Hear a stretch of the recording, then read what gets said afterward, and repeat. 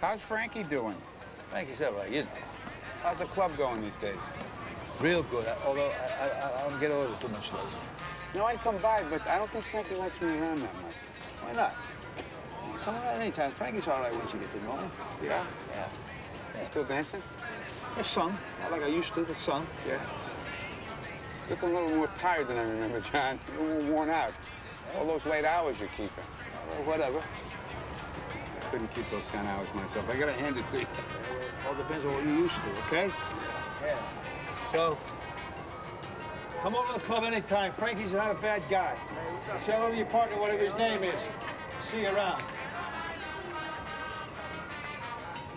Hey, wait a minute. Hold on, hold on, hold on. I want to say something.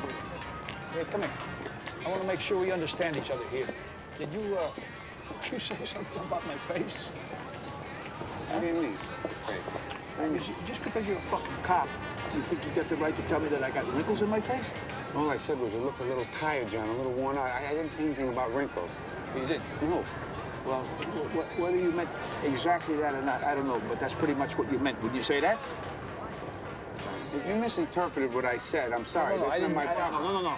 And in the future, if there is a future, it would behoove you to keep your opinions to yourself about my face or, or anything else about me, all right? Come on, John. What are you talking I, about? Okay, on. enough said. Enough of your shit. Just keep your remarks to yourself, understood? Okay? Listen to this. Well, you got a problem. No, well, I wouldn't want the problem to become yours. So remember what I said and keep your opinions to yourself. How'd you clean the streets up, okay?